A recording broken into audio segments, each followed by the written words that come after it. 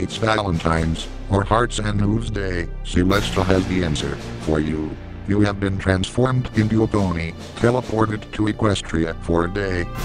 Pick a pony, and Celestia will send you and your bachelor slash bachelorette to any location you wish within the boundaries of Equestria. Drop it in the comments. Luna, of course, we would have royal canterlotti and grilled cheese sandwiches under a moonlit sky. Alicorn Twilight. Wingle or anybody. Luna, the two of us were born in darkness. Exploring the clouds with Fluttershy, best date ever. I have no love other than that for my family. I'm wicked and my family still loves me which says a lot considering my supposedly evil nature. If there was one thing I really love it would be my sentient pillow. Want to make Lyra, I can regale her with tales of my human life. None. I already have a girlfriend. You could ask to have her turned into a pony for the day too. Um, can I just send Fluttershy and Rainbow Dash on a date instead?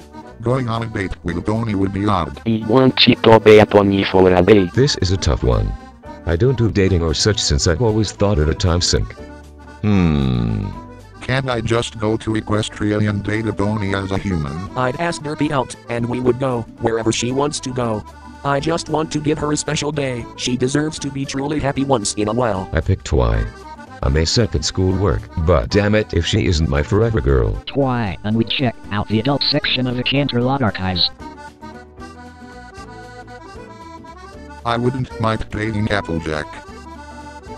She's strong and active. This now sounds like my real life fantasy. I thought this would be a topic about how bronies spend their Valentine's Day. Instead, I find a topic about what cartoon horse they would like to date. Awkward. Awkward. In honor of Hearts and Hooves Day, I am wearing my Cheerilee shirt. Also, I sent a love letter to Andrea Libman. Gay for ponies is so tough with all these choices. As long as I got the chance to stare at that plot all night. Pinkie Pie. Maybe we'd even have a private party together. I would choose Pinkie Pie.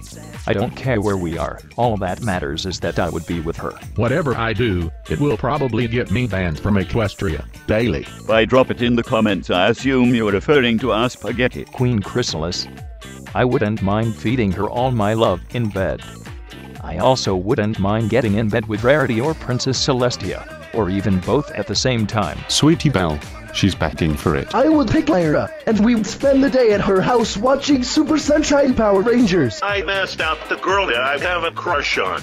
Much better alternative to fictionally dating ponies. We will cover the walls of the car in blueberry jelly and then, once the walls are dripping and oozing jelly I will then smother the jelly all over my feet. This threat makes me feel uncomfortable. Twilight's always been my favorite character, so if I had this chance, then damn it, I'm gonna treat her right. Beach with Pinkie Pie.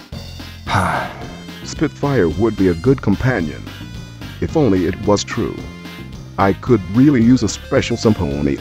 I've never had one. I would spend a day walking through the Everfree forest with Fluttershy, because I love animals, and if some monster attacked, I would defend her, no matter the cost. Twilight.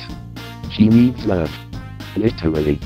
But keeping it PG right now. I am an enormous weeboo. Please rate my face. Game itself stop reminding me how lonely reality is. Luna plays video games and is up all night which works great for me, being that sort myself. I'd ask Cheerilee out to a place free of well-meaning school children. I'd take my wife and kids, my wife, and I would explore the Everfree Forest or the Whitetail Woods.